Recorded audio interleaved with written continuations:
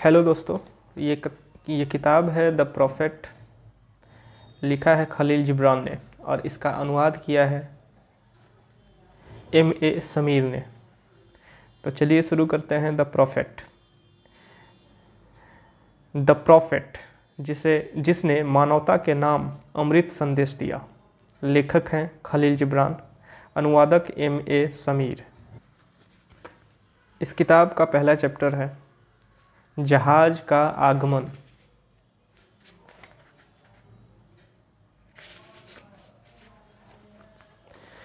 उसका नाम अल मुस्तफ़ा था, जिसे ईश्वर ने चुना और अपने प्रेम का पात्र बनाया। उसने बारह वर्षों तक अरफालीज नामक शहर में उस जहाज़ की प्रतीक्षा की थी, जो उसे वापस उसकी मातृभूमि ले जाने वाला था। बारहवें वर्ष इलूल महीने के सातवें दिन उसने नगर की चार दीवारी के बाहर पहाड़ी पर चढ़कर समुद्र की ओर देखा। उस समय उसे कोहरे को चीरता हुआ अपना जहाज़ आता दिखाई दिया। ऐसा प्रतीत हुआ जैसे उसके हृदय के द्वार खुल गए और उसका आनंद समुद्र में दूर दूर तक बिखर गया। तब उसने अपने साथी, तब उसने अपनी आँखें बंद कर ली और अंतरात्मा की अनंत शांति में प्रार्थना की, लेकिन जैसे ही वह पहाड़ी से उतरा, उस पर उदासी छा गई। उसने दिल में सोचा, मैं किस प्रकार बिना किसी भी व्यथा का अनुभव किए शांतिपूर्वक यहाँ से जा पाऊँगा? नहीं, मैं अपनी भावनाओं को घायल किए बिना यह नगर नहीं छोड़ सकता। मैंने इस नगर में जो दुख भरे दिन बिताए हैं, वो बहुत लंबे थे और इसी प्रकार अकेली सुनी रातें भी बहुत लंबी थीं। फिर ऐसे में कौन अपने दुख और अकेलेपन से बिना कोई खेद जताए दूर जा सकता है? इन गलतियों में मेरी भावनाओं के न जाने कितने टुकड़े बिखरे पड़े हैं और मेरी लालसा के न जाने कितने बच्चे इन पहाड़ियों के बीच विचरण कर रहे हैं। मैं बिना किसी बोझ और दर्द को अपने साथ लिए यहाँ से नहीं जा सकता। मैं तो कोई कपड़ा, मैं को, यह कोई कपड़ा तो है नहीं जिसे मैं उतार दूँ, लेकिन यह तो मेरे शरीर की त्वचा है जिसे मैं अपने हाथों से उतार रहा हूँ। आज अपने पीछे मैं जिस चीज़ को छोड़कर जा रहा हूँ, वह केवल एक सोच नहीं है, बल्कि भूख व प्यास से तर एक मधुर हृदय छोड़कर जा रहा हूँ। फिर अब मैं विलम्ब भी तो नहीं कर सकता।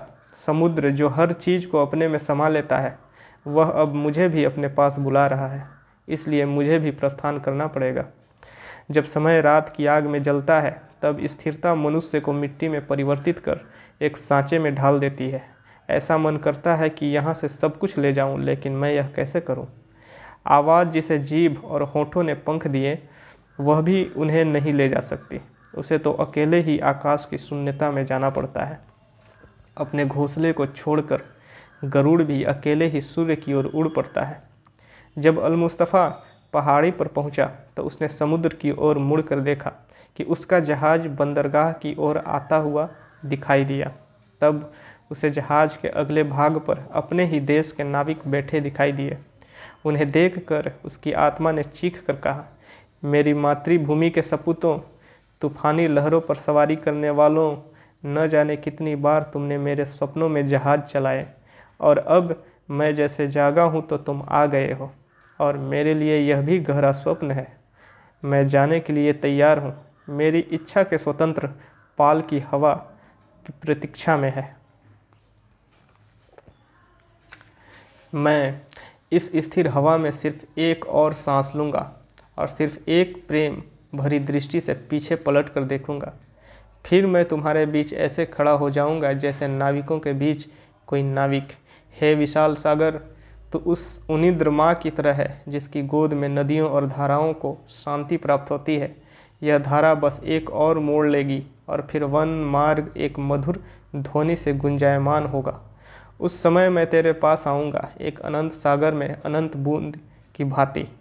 जैसे ही उसने चलना शुरू किया, उसने देखा कि दूर दराज के क्षेत्र के से सामूहिक रूप से स्त्री और पुरुष अपने खेत, खलिहान और बाग बगीचे छोड़कर नगर की ओर आ रहे हैं। वह स्पष्ट सुन रहा था कि वे सभी लोग उसका नाम पुकार रहे थे। खेत दर खेत उन लोगों की आवाज़ें जहाज़ के आने की खबर फैला रही थीं। उसने अपने आप से कहा, क्या यह दिन सब लोगों के एकत्र होने का दिन बनेगा? और क्या यह कहा जाएगा कि हकीकत में मेरी शाम ही मेरी सुबह थी? मैं उनको क्या दे पाऊँगा? उन्होंने अपने खेत को बीच में ही जोतना छोड़ दिया, या फिर उन्होंने अपनी चक्की या पहिया रोक दिया है? क्या मेरा हृदय फलों से परिपूर्ण वृक्ष बन पाएगा, जिससे फलों को तोड़कर मैं उन्हें वितरित कर दूँ? और क्या मेरी अभिलाषाएँ किसी जल स्रोत की भांति बहने लगेगी, जिससे मैं उनके प्याले भर सकूँ? क्या मैं एक वीणा हूँ, जिसे परम भक्ति का स्पर्श प्राप्त हो, या कोई बाँसुरी हूँ, जिसमें उसकी सांस गुजर सके मैं तो निर्वता का अन्वेषक हूँ, और उस निर्वता ने मुझे न जाने ऐसा क्या खजाना मिल गया, जिसे मैं विश्वास के साथ बांट सकूँ। अगर मेरा यह समय फ़सल काटने का है। तो क्या मुझे कोई बता सकता है कि मैंने किन भूले हुए मौसम में और किन खेतों में बीज बोए थे? अगर वास्तव में मैं अपने दिए को इस समय पर इस समय ऊपर उठाऊं तो क्या मेरी ज्योति ही उसमें न जल उठेगी? मैं अपने दिए को खाली और बिना प्रकाश के ही उठाऊँगा, और तब रात्रि का पहरेदार स्वयं ही उसे तेल से पूर्ण कर देगा और वही इसे प्रकाशित भी करेगा। यह सब विचार उसने अपने शब्दों में व्यक्त किए, लेकिन ऐसे बहुत से विचार थे जो उसके हृदय में ही दबे रह गए। इसका कारण यह था कि वह स्वयं ही आंतरिक गुप्त रहस्यों को प्रकट नहीं कर सकता था। फिर जब उसने नगर में प्रवेश किया तो सभी नगरवासी उससे मिलने आ गए। सभी लोग स्वर में स्वर मिलाकर उसे पुकार रहे थे। जो शहर के बड़े बुज़ुर्ग थे, उन्होंने सामने आकर कहा, हमें छोड़कर मत जाओ। तुम्हारी शाम के धुंधलेपन में दोपहर के प्रकाश की भांति हो। तुम हमारी शाम के धुंधलेपन में दोपहर के प्रकाश की भांति हो और यह तुम्हारा यौवन ही है, जिसने हमें सपने देखने के लिए सपने दिए हैं। तुम हमारे बीच न तो किसी अजनबी की तरह हो और न ही किसी मेहमान की तरह, बल्कि एक बेटे की तरह हो, एक प्रियतम की तरह हो। तुम हमारी भूखी आँखों को अपने दर्शन की प्यास के लिए न तरसाओ। फिर साधु और साध्वियों ने कहा, अभी हमें समुद्र की लहरों से अलग न होने दो। और जो समय तुमने हमारे बीच बिताया है, वह हमारे लिए केवल एक यादगार ही न बनकर रह जाए। तुम हमारे बीच एक आत्मा के रूप में रहे हो और तुम्हारी छाया हमारे चेहरों पर पड़कर उन्हें प्रकाशित कर रही है। तुमने, हमने तुमसे बहुत ज़्यादा प्रेम किया है, लेकिन हमारा प्रेम निःशब्द था और इसे पर्दों ने ढक रखा है। आज वही प्रेम तुम्हारे सम्मुख ज़ोर से चिल्ला पड़ा है और तुम्हारे सम्मुख व्यक्त हो गया है। यह हमेशा ही हुआ है कि प्रेम अपनी गहराई को विदाई के समय तक नहीं जान पाया है, और अन्य लोग भी आ गए। उसने अनुनय विनय किया, लेकिन उसने कोई उत्तर नहीं दिया। उसने केवल अपना सिर झुका लिया, और वे लोग जो उसके पास ही खड़े थे, उन्होंने देखा कि उसकी छाती पर आँसू टपक रहे थे। इसके पश्चात वे वे और अन्य लोग मंदिर के सामने वाले एक बड़े से चौक की ओर चल पड़े। जब उस मंदिर में से एक महिला बाहर निकल कर आई, जिसका नाम अलमित्रा था, वह एक साध्वी थी। उसने अत्यंत कोमलता की ओर, कोमलता से उसकी ओर देखा, क्योंकि जब उसे नगर में आए हुए केवल एक दिन ही बीता था, तब वही स्त्री थी जिसने उसको जाना, समझा और उस पर विश्वास किया। उस स्त्री ने उसका स्वागत करते हुए कहा, हे ईश्वर के देवदूत, परम अलौकिक की खोज करने वाले देवदूत बहुत लंबे समय से तुमने अपने जहाज़ की दूरियों को खोजा है। अब जबकि तुम्हारा जहाज़ आ गया है तो तुम्हारा जाना अत्यंत आवश्यक हो गया है। तुम्हारी यादों और महान अभिलाषाओं के निवास स्थान के लिए तुम्हारी तड़प बहुत गहरी है।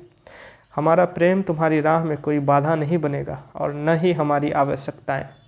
फिर भी हमारी यही प्रार्थना है कि इससे पहले कि तुम हमें छोड़ कर जाओ, तुम हमें कुछ बताओ और हमें अपने सत्य के भंडार में से कुछ दो, ताकि हम वह सत्य की बातें अपने बच्चों को दें और वे अपनी आने वाली संतानों को दें और इस तरह वह सत्य अमर हो जाए। अपने एकांत में तुमने हमारे दिनों को भली भांति देखा है और जागते हुए तुमने हमारी नींद का रोना व हंसना भी भली भांति सुना है। अतः अब तुम हम पर हमारा ही भेद प्रकट कर दो। और हमें जन्म मृत्यु के बीच में जो कुछ है, वह सब बता दो, जिसके बारे में तुमने ज्ञान प्राप्त किया है। फिर उसने उत्तर दिया, हे और फालीज के लोगों, मैं तुमसे क्या कहूँ?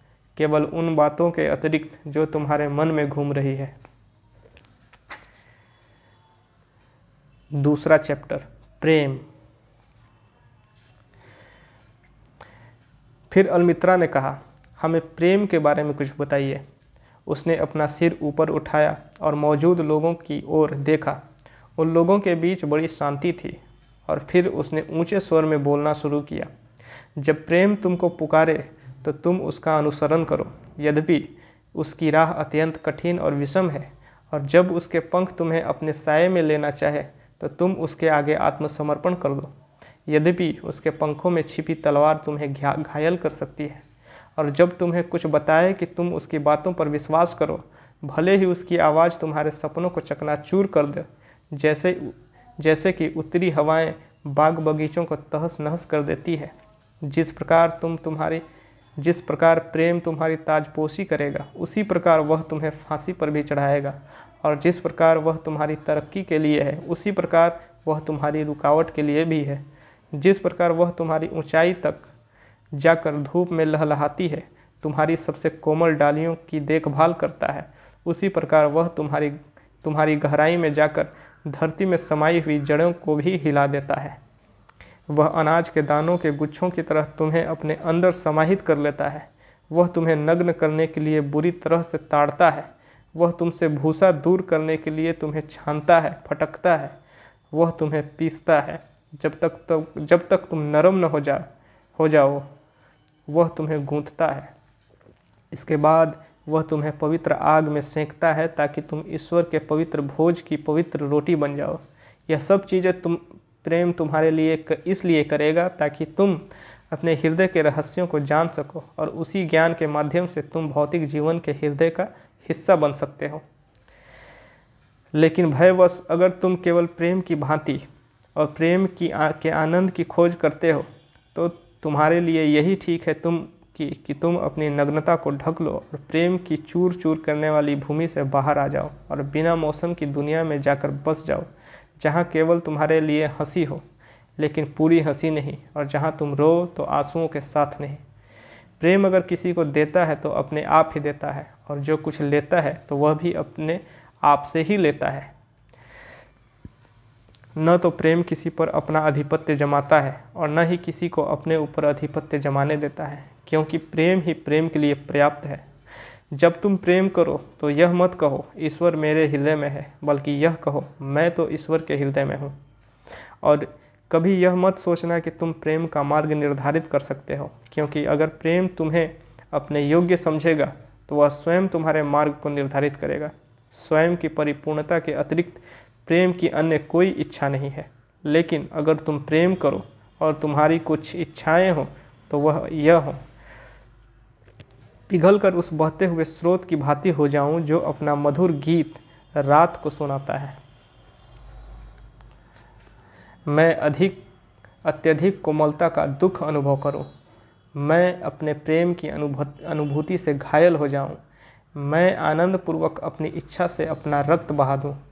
पंखों के सारे हृदय लेकर मैं सुबह सवेरे जाग जाऊँ, पंखों को पसारे हुए हृदय लेकर मैं सुबह सवेरे जाग जाऊँ और प्रेम से परिपूर्ण बीते दिनों को आभार दे सकूँ, दोपहर के समय विश्राम करूँ और प्रेम के परम हर्ष पर मनन करूँ, शाम के समय कृतज्ञतापूर्वक घर लौटूं और फिर रात के समय अपने प्रीतम के लिए अपने हृदय में प्रार्थना करूँ और अपने होठों पर उसकी प्रशंसा के गीत गुनगुनाऊं।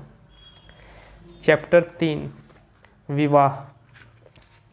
इसके पास, इसके पश्चात, अलमित्रा ने एक बार फिर कहा, स्वामी, हमें विवाह के बारे में कुछ बताइए। तब उसने उत्तर देते हुए कहा, तुम साथ साथ पैदा हुए और तुम हमेशा साथ साथ रहोगे। तुम उस समय भी साथ साथ ही होगे जब मृत्यु के सफ़ेद पंख तुम्हारे जीवन को तहस नहस कर देंगे। हाँ सच में तुम ईश्वर की शांत स्मृति में साथ साथ रहोगे। फिर भी अपनी इस एकजुटता में थोड़ी बहुत जगह रहने दो। और स्वर्ग की हवाओं को अपने बीच नृत्य करने दो। एक दूसरे से प्रेम करो, लेकिन प्रेम को बंधन न बनाओ, बल्कि अपनी आत्मा के किनारों के बीच उसे चलायमान समुद्र बनने दो। एक दूसरे के प्याले को भरो, लेकिन एक ही प्याले से बिल्कुल मत पियो। एक साथ साथ गीत गाओ, नृत्य करो और आनंद उठाओ। फिर भी प्रत्येक का अपना अपना अस्तित्व रहने दो। जिस प्रकार वीणा के तार अकेले होते हैं, जबकि वे एक ही संग साथ संगीत उत्पन्न करते हैं एक दूसरे को अपना हृदय अर्पित करो, लेकिन एक दूसरे के संरक्षण में न रहो। तुम्हारे हृदय केवल तुम्हारे जीवन के हाथों में समाविष्ट हो सकते हैं। और एक दूसरे के साथ खड़े रहो, लेकिन एक दूसरे के बहुत अधिक निकट नहीं, क्योंकि मंदिरों के स्तंभ अलग अलग खड़े होते हैं। और बलूत और साइप्रस के पेड़ एक दूसरे की छाया छाया में नहीं बढ़ते।